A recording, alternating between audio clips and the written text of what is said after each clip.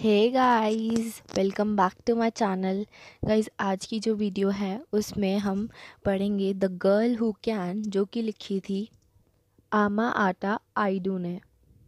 Guys इस video में हम इस नावल का पूरा क्रिटिकल एनालिसिस पढ़ेंगे। अगर आपको इसकी समरी जाननी है तो आप मेरी दूसरी वीडियो है, उसको देख सकते हैं। तो आइए शुरू करते हैं आज की वीडियो गाइज़ ये जो नावल है, वो हमें एक फ़ीमेल के परस्पेक्टिव से बताई गई है और वो भी एक बहुत ही छोटी गर्ल है, जिसका नाम है एजोआ जो कि रहती है एक विलेज में अपनी मदर और ग्रैंड मदर के साथ। तो गाइज़ आपके लिए बात जानना बहुत ज़रूरी है एग्ज़ाम पॉइंट ऑफ़ व्यू से कि हमें इस शॉर्ट स्टोरी के अंदर जितनी भी अफ्रीकन वुमेन हैं, उनकी कंडीशन दिखाई गई है।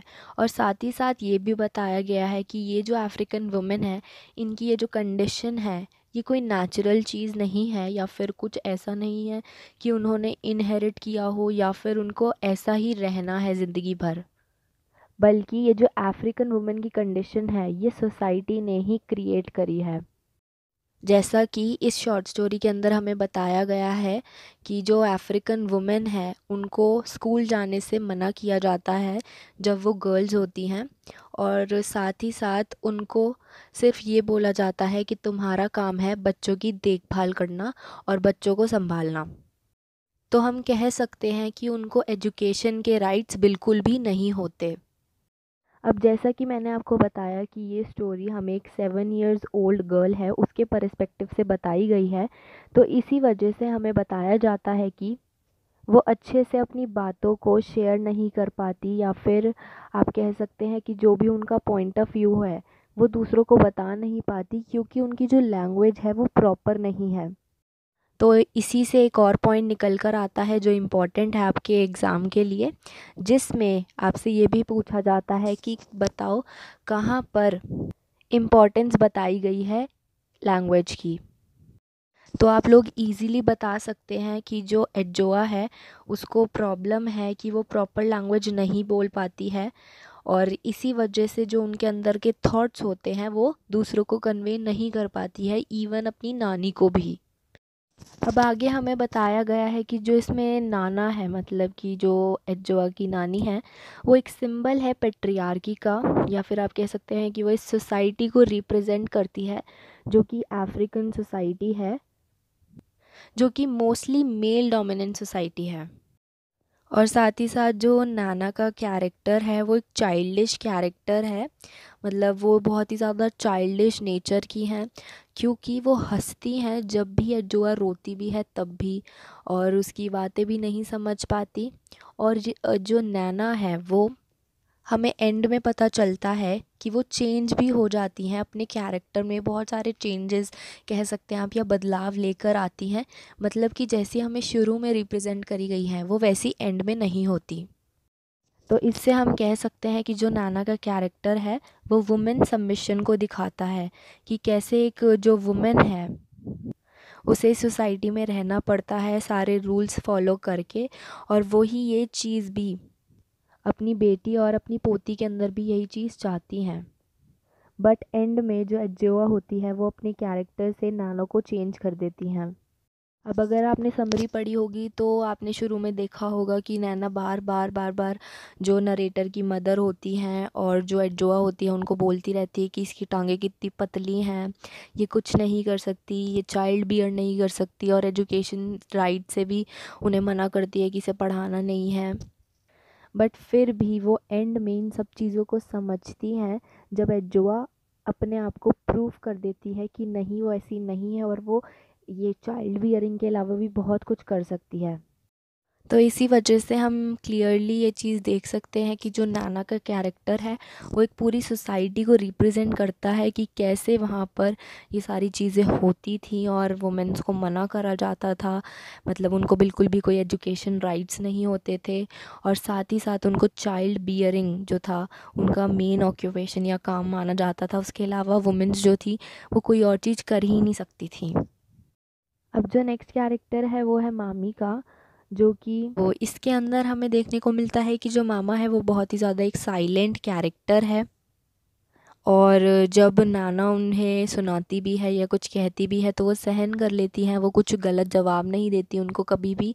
पर वो चाहती हैं कि जो उनकी बेटी है वो पढ़े एजुकेशन गेन करे ताकि वो अपनी लाइफ में कुछ और कर पाए और ये जो सोसाइटी है इससे बाहर निकल पाए। अब साथ ही साथ जो मामी है वो अपना एक्सपीरियंस भी शेयर करती है जब वो एजोआ की एज की थी तो वो कहती है कि वो भी जाना चाहती थी स्कूल वगैरह, बट वो नहीं जा पाई, लेकिन वो ऐसा अपनी बेटी के साथ बिल्कुल नहीं करना चाहती। वो चाहती हैं कि वो जाए, पढ़े, लिखे। तो इससे हम कह सकते हैं कि जो मामी है, वो समझती हैं कि क्या इम्पोर्टेंस है एजुकेशन की एक चाइल्ड की लाइफ में। अब जो एक और इसमें सिंबल कह सकते हैं आप, वो है स्कूल का। अब जो स्कूल है वो हमें एक सिंबल बताया गया है कॉन्सोलेशन का मतलब कि जैसा कि हम देखते हैं कि जो नाना है वो मना करती है कि नहीं, स्कूल नहीं जाना बट जो मामी है वो सोचती हैं कि मतलब मेरी बेटी जाए, पढ़े, लिखे, ताकि वो इस सोसाइटी से बाहर निकल पाए और अपनी चीज़ें खुद कर पाए। इसी वजह से जो स्कूल है उसको एक सिंबल बोला गया है कॉन्सोलेशन का। और साथ ही साथ जो नाना भी है, वो भी एक बार गुस्से में कह देती है कि ठीक है, ये अपनी लेग्स तो इसकी इतनी पतली हैं तो अपनी लाइफ के साथ और कुछ तो कर नहीं सकती। पता नहीं इसकी लेग्स इतनी पतली हैं, इसकी शादी हो भी ना हो, कोई लड़का इसे एक्सेप्ट करे भी ना करे, और अगर कर भी लिया, फिर ये बच्चे कैसा पैदा करेगी? ये सारी बातें नाना के मन में चलती रहती हैं। तो वो भी एक तरीके से जो स्कूल है, उसको कॉन्सोलेशन का सिम्बल मानती है। अब आगे हमें बताई गई है जो इम्पोर्टेंस है एजुकेशन की, एक वुमेन की लाइफ में। तो सबसे पहली तो ये होती है कि वो जो एजुकेशन है वो क्या करती है? वुमेन को फ्रीडम दिलाती है। दूसरी इम्पोर्टेंस है एजुकेशन की कि वो हेल्प करती है वुमेन के एनलाइटनमेंट में। और तीसरी चीज़ है कि जो एजुकेशन है वो हेल्प करती है एक वुमेन को अपनी लाइफ में जो इतनी सारी चीज़ें होती हैं उनके सामने, उसमें से एक पिकअप करने के लिए आप कह सकते हो उन, उनको जो इतनी सारी वाइड रेंज की चॉइसेस होती हैं, उनमें से अपने लिए क्या सही है और क्या गलत है उसको सिलेक्ट करने में। साथ ही साथ ये डिसीज़न मेकिंग में भी हेल्प करती है एक वुमेन को। और सबसे इंपॉर्टेंट इस स्टोरी के हिसाब से जो पॉइंट बनता है, वो ये है कि एजुकेशन एक वुमेन को हेल्प करती है, ये डिसाइड करने में कि एक लड़की जो है, उसको वाइफ और मदर के अलावा भी क्या बनना है या क्या अचीव करना है अपनी लाइफ में? जैसे कि आप इसमें से एक एग्ज़ाम्पल भी दे सकते हैं स्टोरी में कि जब एडजोआ का सिलेक्शन हो जाता है और वो जीत के लाती है कप तो इससे पता चलता है कि जो एक वुमेन है, वो एक मदर और एक वाइफ के अलावा भी बहुत कुछ कर सकती है अचीव अपनी लाइफ में। गाइज़ एक और पॉइंट जो है इंपॉर्टेंट आपसे ये भी पूछा जा सकता है कि जो स्टोरी है, वो नरेट किस पर्सन में की गई है? तो आप हमेशा लिखेंगे कि ये स्टोरी फ़र्स्ट पर्सन में नरेट की गई है। और हाँ नाना के बारे में एक और बात कि जो नाना है ना, वो दोनों को ही क्रिटिसाइज़ करती है मतलब अपनी बेटी को भी, जो मामी है, और अपने नरेटर को भी। नरेटर को करती है उनकी लेग्स के लिए, और जो मामी है, उनको क्रिटिसाइज़ करती रहती है कि तुमने कैसा हस्बैंड चूज़ किया है। गाइज़ अगर आपसे पूछा जाए कि इसके अंदर सोशियो कल्चरल कंस्ट्रक्ट्स कहाँ कहाँ दिखाए गए हैं तो आप कह सकते हैं ये कुछ पॉइंट्स हैं आपके सामने इनमें से, कि सबसे पहला जेंडर हायरार्की में, कि कैसे जो मेल है उनको सुपीरियर दिखाया गया है और जो फीमेल्स हैं उनको इन्फीरियर दिखाया गया है, कि जो मेल्स हैं उनके हाथ में तो सारी पावर है, वो सब चीज़ें कर सकते हैं बट जो फीमेल्स हैं उनके पास इतनी नहीं है और उनका काम क्या है कि जो मेल्स हैं, उनको बस सबमिट कर देना। कि हाँ जो मेल्स कह रहे हैं वही सही है, या जो मेल्स करना चाहते हैं वही वुमेंस करेंगी। आगे नेक्स्ट पॉइंट है मैरिज का, जैसा कि इसके अंदर दिखाया गया है। दूसरा है वुमेनहुड और एक और है इसके अंदर जो है फीमेल इन्फीरियोरिटी। अब आगे जो एक और इंपॉर्टेंट टॉपिक बनता है इस शॉर्ट स्टोरी से, वो है सिग्निफिकेंस ऑफ़ एडजोआज लेग कि क्या इम्पोर्टेंस है या क्या सिग्निफिकेंस है जो एडजोआ की लेग्स हैं उसकी? तो आप लिख सकते हैं कि जो एडजोआ की लेग्स हैं, वो एक सिंबल की तरह यहाँ पर एक्ट करती हैं और ये दिखाती हैं कि जो वुमेन है, वो जितने भी मेल कंस्ट्रक्टेड जो चीज़ें बनी हुई हैं, उनको तोड़कर या फिर सोशल बाउंड्रीज़ जो भी हैं, उनके ऊपर लागू करी जाती हैं, उनको तोड़कर आगे निकल सकती हैं। और ऐसा ज़रूरी नहीं है कि जो बस मेल कहेंगे, उन्हें वही करना है, बल्कि वो काफ़ी कुछ कर सकती हैं अपनी लाइफ में। अब दूसरा पॉइंट इसमें यह भी बनता है कि जो एजोआ की लेग्स हैं, वो एक सिंबल दिखाया गया है कि कैसे एक बैड चीज़ को भी चेंज करा जाता है अच्छी चीज़ में। जैसे कि हमें नाना का कैरेक्टर दिखाया गया है कि वो बहुत बुरी है स्टार्टिंग में बट जो एडजोआ की लेग्स हैं, उन्होंने ही कुछ ऐसा कमाल किया ना कि जिसकी वजह से जो नाना का कैरेक्टर इतना बुरा है, वो अच्छा बन गया। अब इसके अंदर बताया गया है कि जो एडजोआ की लेग्स हैं, वो दिखाती हैं फ्रीडम ऑफ़ चॉइस को, कि मतलब जैसे एक लड़की है तो ज़रूरी नहीं है कि वो बस मदर बने या फिर एक वाइफ़ ही, बल्कि वो उसके अलावा भी बहुत कुछ बन सकती है, जो उसे बनना है। अब आप ये भी कह सकते हैं कि जो एजोआ की लेग्स हैं, वो दिखाती है कि कैसे एक सोसाइटी का जो परस्पेक्टिव है या सोच का तरीका है, उसको चेंज किया जा सकता है।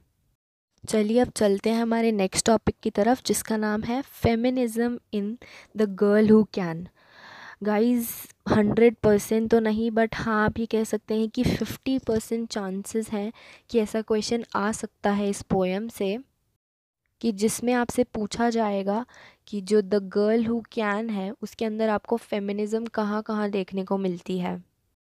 तो गाइज़ आप अपने आंसर में लिख सकते हैं कि जो द गर्ल हु कैन है, उसके अंदर काफ़ी ज़्यादा हमें फेमिनिज़म को देखने को मिली है। सबसे पहला तो यही कि इसके अंदर हमने देखा मोस्टली जो है वो फ़ीमेल कैरेक्टर्स हैं। दूसरी चीज़ आप ये भी बता सकते हैं कि इसके अंदर जो है वुमेन का स्ट्रगल दिखाया गया है कि कैसे उसे एक माँ का रोल भी निभाना होता है वाइफ का भी, और उसके बाद सोसाइटी को भी गलत प्रूफ करके आगे बढ़ना होता है। और जबकि सोसाइटी जो है उस पर इतनी सारी रिस्ट्रिक्शंस लगाती हैं, उसके बाद भी उसे अकेले ही लड़ के सबको गलत प्रूफ करना पड़ता है। तो आप इसमें इजीली बता सकते हैं, जो भी आपको आइडू बताना चाह रही हैं, कि जितने भी ये मिथ्स हैं, ये सब सोसाइटी ने ही क्रिएट किए हैं, कि जो वुमेंस हैं, वो ये इस चीज़ के लिए बनी है या सिर्फ़ यही कर सकती हैं, जबकि ऐसा कुछ नहीं है। वुमेंस जो है, वो बहुत कुछ कर सकती हैं अपनी लाइफ में। और ये जितने भी सोसाइटी ने उनके ऊपर बाउंडेशंस लगाई हैं, या फिर अपने परस्पेक्टिव रखे हैं, उनसे आगे भी वो निकल सकती हैं, अगर वो चाहे तो। अब अगर हम इसकी पूरी जो द गर्ल हु कैन है, इसके कंक्लूजन की बात करें तो हमें यही क्लियर होता है इससे कि जो हमारी राइटर हैं, वो हमें ये बताना चाह रही हैं कि जो भी ये चीज़ें बनाई गई हैं सोसाइटी के थ्रू ये सब कुछ एक स्टीरियोटाइप्स हैं जो सोसाइटी ने ही क्रिएट करे हैं और वुमेंस के ऊपर लगाए हैं, जबकि ऐसा कुछ नहीं है। ये सब कुछ स्टीरियोटाइप या मिथ हैं और कम्प्लीटली फॉल्स हैं ये सारी चीज़ें। और जो सोसाइटी के परस्पेक्टिव को चेंज करने की बात आती है, वो सिर्फ़ और सिर्फ़ एक वुमेन के हाथ में है और उसके एक्ट्स और उसके मूवमेंट्स के ऊपर कि वो कैसे चेंजेस एक सोसाइटी में लाना चाहती है। और आई डू अपनी जो कैरेक्टर है जोआ उसके थ्रू भी हमें यही बता रही हैं कि कैसे उन्होंने अपनी जो उनकी वीकनेस थी, जो उनकी ग्रैंड मदर सोचती थी कि इसकी लेग्स तो कुछ नहीं कर सकती बट फिर भी उन्होंने अपनी लेग्स को ही एक पावरफुल वेपन की तरह यूज़ करके अपनी जो ग्रैंड मदर है, उनको झूठा साबित कर दिया। तो गाइज़ यहीं पे ये वीडियो एंड होती है।